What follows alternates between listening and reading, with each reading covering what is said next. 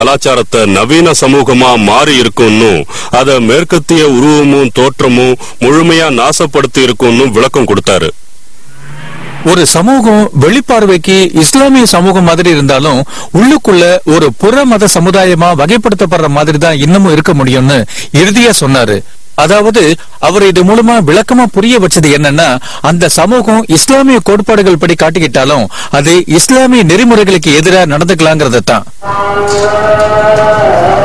எந்த முறைகேட்டையும் புறம்பான நடத்தையையும் மாற்றி அமைக்க கொட்டுபுக்கு தென்பட்ட ஒரே வழி மானிட சட்டங்களால் உருவாக்கப்பட்டதற்கு பதிலாக கடவுளால் இயற்றப்பட்ட சட்டங்களை கொண்ட ஒரு இஸ்லாமிய குடியரசை நிறுவுவதுதான்.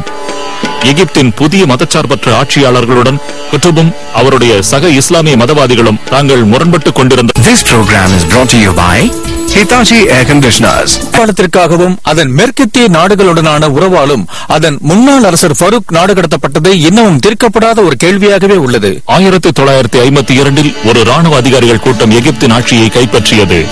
எகிப்தின் புதிய இரும்பு மனிதராக இருந்தவர் கமல் அப்தல் நாசர். ஒட்டுமொத்த அரேபிய நாடுகளும் எகிப்தும் மதச்சார்பற்ற தேசிய மற்றும் சோசியலிச நாடுகளாக இருக்க வேண்டும் என்பது அவருடைய லட்சியமாக இருந்தது.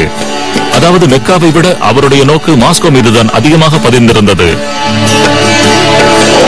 தோல்வியில் முடிந்த ஒரு கொலை முயற்சியானது இந்த இஸ்லாமிய சகோதரர்களை ஆயிரக்கணக்கில் வளைத்து கைது செய்ய நாசருக்கு போதுமான காரணமாக அமைந்தது. ஆறு பேருக்கு மரண தண்டனை நிறைவேற்றப்பட்டது. பலருக்கு மிக நீண்டகால கடுங்காவல் தண்டனை விதிக்கப்பட்டது.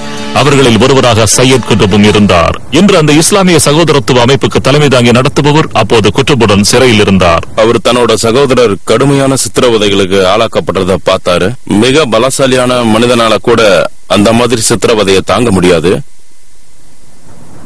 நான் கை கால்கள்ல விலங்குகளோட இருந்தேன். என் உடல்ல புழுக்கள் என் தசைகளை சாப்பிட்டதை என்னால பார்க்க முடிஞ்சது. ஆனா அசைய கூட முடியாது. அவர் கூட அந்த சிறையில ஒரு கூட்டமா இஸ்லாமிய சகோதரர்கள் இருந்தாங்க. அவங்க எல்லாரும் இதை எதிர்க்க ஆசைப்பட்டாங்க. ஆனா சிறை அதிகாரிகள் இதை கையால சிறை கதவுகளை திறந்து விட்டு அவங்க எல்லாரையும் சுட்டு தள்ளினாங்க குட்டுப் இதை பார்த்து அதிர்ச்சி அடைஞ்சு இந்த மாதிரியான காரியத்தை ஒரு சக இஸ்லாமியனுக்கு செய்யறவன் ஒரு உண்மையான இஸ்லாமியனா இருப்பானான்னு தனக்கு தானே கேட்டுக்கிட்டாரு. அவங்க எல்லாரும் முஸ்லிம்கள் இல்லைன்னு முடிவு கட்டினாரு. தன்னோட மனசுக்குள்ள அவங்கள மதத்தை விட்டு தள்ளி வச்சாரு.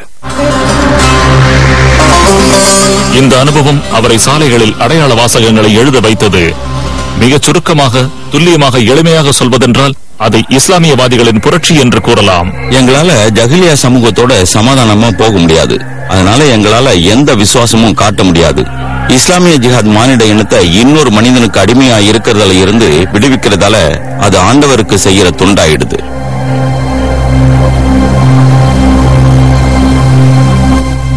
இன்றைய அல் கைதாவின் துணைத் தலைவராக இருக்கும் நபருக்கு குட்டுபின் வாழ்க்கையும் கொள்கைகளும் மிக பலமான பாதிப்பை உருவாக்கியது.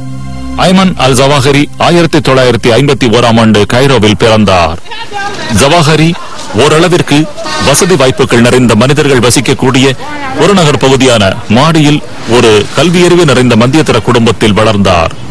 குட்டுபின் வழக்கறிஞராக இருந்த மபூஸ் அசாம் தான் ஜவாஹரியின் தாய் மாமன்.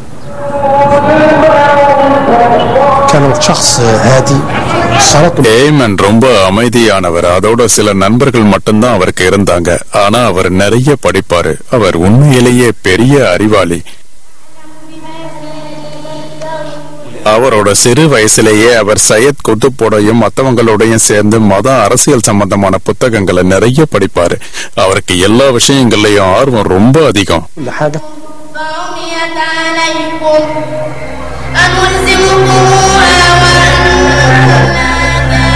சையத் குதுப் ஒரு குடும்ப நண்பராக இருந்ததுடன் அவர் மீது நடந்த வழக்கும் அவருக்கு கிடைத்த தண்டனையும் வாலிப வயதில் இருந்த ஐமான் அல் ஜவாஹரிக்கு மிகப்பெரிய பாதிப்பை உண்டாக்கின. ஆயிரத்தி தொள்ளாயிரத்தி அறுபத்தி ஐந்தில் எகிப்திய அதிகாரிகள் குற்றவை மீண்டும் கைது செய்தனர். நான் அந்த வழக்கு விசாரணை குறிப்புகளை படிச்சேன். இந்த மனிதருக்கு தனக்கு மரண தண்டனை கண்டிப்பா விதிக்கப்படும்னு நிச்சயமா தெரிஞ்சிருக்கு. நாசர் அரசு அவரை மறுபடி கைது செஞ்சு விசாரணைக்கு உட்படுத்தியதே தன்னை படுகொலை செய்ய தாங்கறத அவர் தெரிஞ்சுக்கிட்டாரு. நாசரிலிருந்து கீழ்மட்டம் வரை குட்டுப் மரண தண்டனையை எதிர்த்து முறையீடு செய்வார் என்று எதிர்பார்த்தார்கள். ஆனால் அவர் அதை மறுத்துவிட்டார். தன்னோட கொள்கைகளும் கோட்பாடுகளும் தான் உயிரோட இருக்கிறத விட இறந்தா தான் அதிக பாதிப்பை ஏற்படுத்தும்னு குதுப் பதில் கொடுத்தாரு. தளபதி ஃபுவாட் அலாம் அந்த மரண தண்டனை நிறைவேற்றப்படுவதை உறுதி செய்தார். அவர் ரொம்ப சத்தமா பேசுவாரு. கடவுளோட தீர்ப்பை தவிர மத்த தீர்ப்பெல்லாம் பொய்யானதுன்னு சொல்லிக்கிட்டே இருந்தாரு. அவரை பின்பற்றி நடக்கிறவங்க கடவுளோட தீர்ப்பை மட்டும்தான் நம்பி ஆகணும்னு சொல்லுவாரு. குட்டுபின் மரண தண்டனை நிறைவேற்றப்பட்டது ஐமன் அல் ஜவாஹரிக்கு ஒரு திருப்புமுனையாக அமைந்தது. பல ஆண்டுகளுக்கு பின்னர் அந்த சம்பவம் தான் ஜிகாத்திய இயக்கத்தை பற்ற வைத்த ஒரு தீப்பொறியாக அமைந்ததாக அவர் விவரித்தார். இந்த இளைஞன் தன்னோட பதினாறாவது வயசுல இந்த இஸ்லாமிய இயக்கத்துல சேர்ந்தான். சையத் குதுப்புக்கு மரண தண்டனை நிறைவேற்றப்பட்டதுக்கு அப்புறம் மக்கள் தங்களுக்கு ஏதாவது கெடுதல் நடக்குமோன்னு பயந்து அந்த இயக்கத்தை விட்டு ஓடிக்கிட்டு இருந்தப்போ இவன் போய் அதுல சேர்ந்தான். அவன் அந்த பாதிப்பை விரும்பி அதுல சேர்ந்தான். இதுல இருந்து ஐமன் அல் ஜவாகிரியோட மனதிடம் எப்படி இருந்ததுன்னு நமக்கு காட்டுது. தான் எழுதிய கட்டுரைகளில் ஜவாஹரி பின்னாட்களில் சையத் குத்துபின் கவிதை ஒன்றிலிருந்து கோடிட்டு காட்டியிருக்கிறார். சகோதரா உனக்கு எதிரே நீண்டிருக்கும் பாதை ரத்தத்தால் நனைந்துள்ளது. உனது தலையை இடதோ அல்லது வலதோ திருப்பாது. நேரே சொர்க்கத்தை மட்டும் நோக்கி பார்ப்பாய். ஆயிரத்தி தொள்ளாயிரத்தி அறுபத்தி ஏழில் இஸ்ரேல் தனது எல்லைகளில் நிறைந்திருந்த மூன்று அரேபிய ராணுவங்களின் மீது ஒரு எதிர்பாராத கடுமையான தாக்குதலை நிகழ்த்தியது.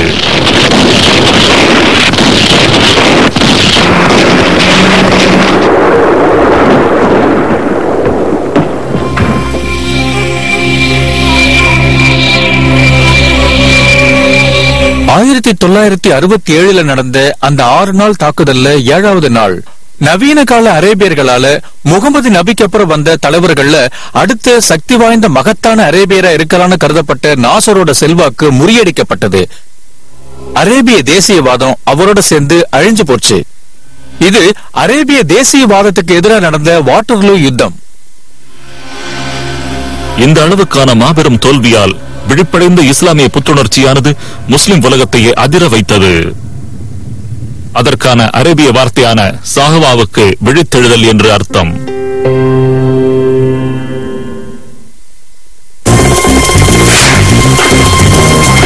நாசர் இறந்தபோது அவருடன் சேர்ந்து மதச்சார்பற்ற அராபிய தேசியவாத கனவும் மறித்தது ஜவஹரி அதை இதுபோல வர்ணிக்கிறார். அந்த ஆயிரத்தி தொள்ளாயிரத்தி அறுபத்தி ஏழில் நிகழ்ந்த முறியடிப்புக்கு பிறகு அதன் நேரடியான பாதிப்பினால் பல மக்கள் அதிலும் குறிப்பாக இளைஞர்கள் தங்கள் துவக்க கட்ட அடையாளத்திற்கு திரும்பினார்கள். அதாவது நாகரிகமடைந்த இஸ்லாமிய நாட்டின் அங்கத்தினர்களாக மாறினார்கள். அந்த காலகட்டத்தில் தான் அப்துல்லா ஸ்லைஃபருக்கு ஜவாஹரியின் குடும்பத்தினரையும் உறவினர்களையும் அறிந்து கொள்ள நேர்ந்தது. அசாம் குடும்பம் ரொம்ப பிரபலமான குடும்பம். உண்மை என்னன்னா நான் இஸ்லாமியரா மதம் மாறினவன். அதை அவங்க ரொம்ப பாராட்டினாங்க. அதனால அவங்க மூலமா நான் ஏமான சந்திச்சேன். அவர் அப்பதான் அந்த குடும்பத்துல திருமணம் பண்ணிக்கிட்டு மருத்துவ படிப்பையும் ஒரு மருத்துவ கல்வி நிலையத்துல முடிக்கிற நிலைமையில இருந்தாரு. அவர் மட்டும்தான் நான் என்ன நடக்குதுன்னு தெரிஞ்சுக்கணுங்கிறதுக்காக அந்த வளாகத்துக்குள்ள ஒரு சுற்றுப்பயணமா கூட்டிட்டு போனாரு. நான் இளைஞர்கள் போஸ்டர்கள் தயார் பண்றதையும் ஹிஜாப் எனப்படும் பெண்கள் பர்தாக்கள் தயாரிக்கிறதையும் நான் பார்த்தேன். அவங்க முழு நேரமும் ரொம்ப தீவிரமா செயல் விளக்கம் நடத்திக்கிட்டே இருந்தாங்க. இஸ்லாமிய புத்துணர்ச்சி எல்லா பல்கலைக்கழகங்களையும் கூட அடைந்திருந்தது.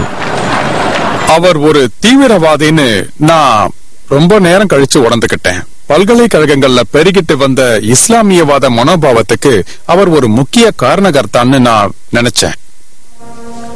ஆனா ஒரு திடீர் புரட்சியில ஆட்சியையே கைப்பற்றக்கூடிய அளவுக்கு ஒரு ரகசிய இயக்கத்தை அவர் சேர்ந்தவர்னு அப்ப நான் நினைச்சு கூட பார்க்கல.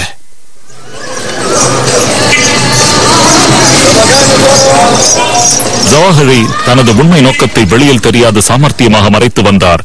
மருத்துவக் கல்லூரியில் அவர் நல்ல மாணவனாக தாடியற்ற நவீன இளைஞராக இருந்தார். ஆனால் நாசருக்கு அடுத்த ஆட்சியாளருக்கு எதிரான கொலை சதியில் அவர் ராணுவ அதிகாரிகளை ரகசியமாக சேர்க்க துவங்கினார்.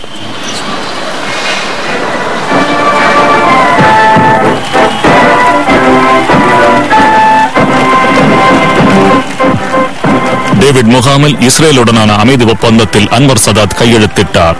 அதனால் அவர் எகிப்துக்கும் இஸ்லாமுக்கும் துரோகம் இழைத்தவராக ஜவாஹரி கருதினார்.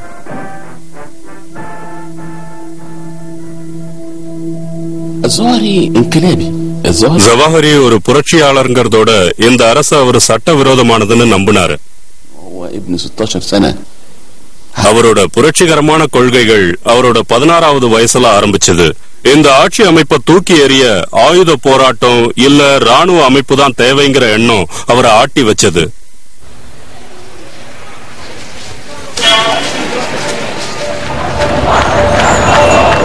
இஸ்லாமிய தீவிரவாதிகளால் வளர்ந்து வரும் அச்சுறுத்தலால் ஏற்பட்ட விழிப்புணர்ச்சி காரணமாக அரசாங்கம் வழக்கமாக சந்தேகத்துக்குரியவர்களை கைது செய்ய துவங்கியது. ஆயிரத்தி தொள்ளாயிரத்தி எண்பத்தி ஒன்றில் ஜவாஹரி ஏற்கனவே திட்டமிட்டு சேர்த்திருந்த ராணுவத்தில் இருந்த அதே பயங்கரவாத குழுவின் பகுதி தாங்களும் பிடிபடுவதற்கு முன்பாக ஒரு திட்டத்தை செயல்படுத்த முடிவு செய்தது.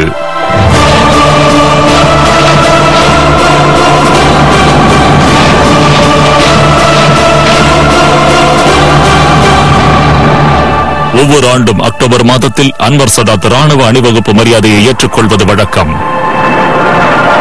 அந்த நிகழ்ச்சி திட்டமிட்டபடி வழக்கம் போல நடைபெற்றது. ஆனால் அணிவகுப்பு மரியாதை ஏற்கும் மேடைக்கு முன்பாக ராணுவ வாகனங்களில் ஒன்று திடீரென்று நின்றபோது பத்திரிகையாளர்களும் ஒளிப்பதிவாளர்களும் சிதறி ஓடினார்கள். நான்கு வீரர்கள் அந்த மேடையை நோக்கி தோட்டாக்களை மழையாக பொழிந்தார்கள்.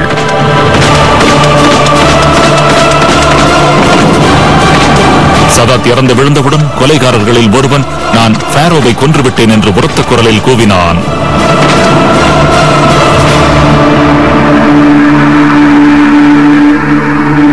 ஜவாஹரியோ அவரோட சகாக்களோ சையத் குத்துப்போட கருத்துக்களை படிச்சதால அவங்க அந்த படுகொலைய அவங்க புரிஞ்சுகிட்டபடி இன்னொரு முஸ்லீம மத நீக்கம் செய்யறத நியாயப்படுத்தினாங்க.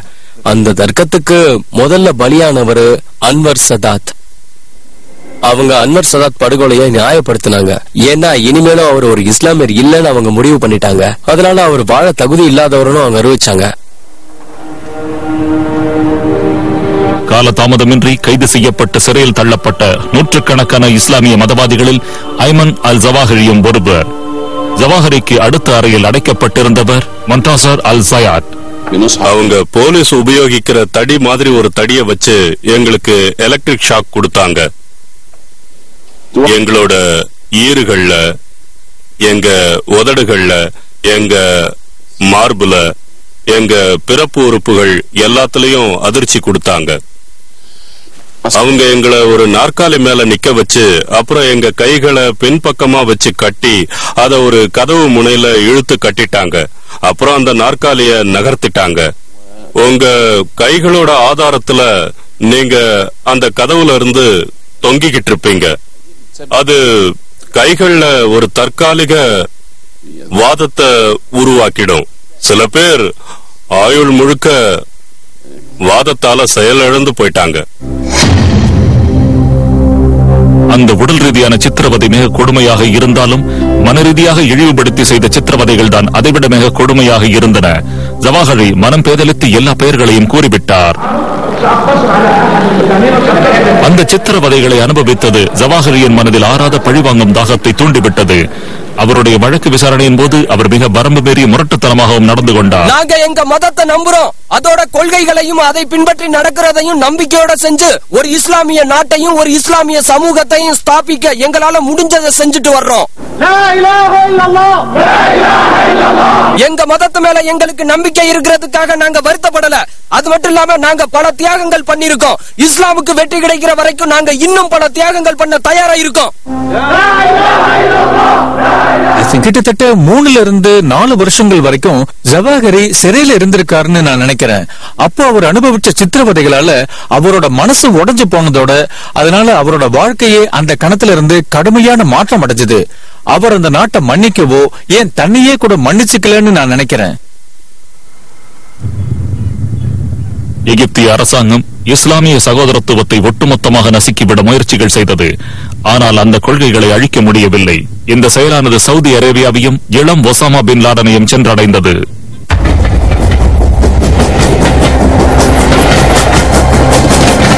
எகிப்து அரசாங்கம் தொடர்ந்த இஸ்லாமிய சகோதரத்துவ அங்கத்தினர்கள் மீதான அடக்குமுறைகளால் பலர் தலைமறைவானார்கள். இப்படி நாட்டை விட்டு வந்த பல முஸ்லிம் சகோதரர்கள் பின் லாடன் மாணவராக ஜட்டா பல்கலைக்கழகத்தில் இருந்தபோது கல்வி கற்பிக்க வந்தார்கள். அப்படி வந்தவர்களில் ஒருவர்தான் சையத் குட்டுபின் சகோதரரான முகமது குட்டப் சையத் குத்துப்போட சகோதரரான முகமது குத்துப் சிறையில இருந்து வெளியே வந்ததோ நேரா சவுதி அரேபியா வந்து சேர்ந்தாரு. அவர் மத்தவங்களை கவரக்கூடியவர். ஒரு எழுத்தாளராவோ தத்துவவாதியாவோ அவரோட கொள்கைகள்ல தன்னோட சகோதரர்களுக்கு அவர் சமமா இருந்தார். ஜுடாவில் அவர் விரிவுரைகள் கொடுப்பாரு அத பில்லாடன் போய் ரொம்ப ஆர்வமா கேட்பாரு முஸ்லிம்கள் ரொம்ப ஆதிக்கத்தோட இருக்கணும்னு தனித்துவத்தோட இருக்கணும்னு முகமது குத்துப் அறிவித்து அழைப்பு விடுப்பாரு. முஸ்லிம்கள்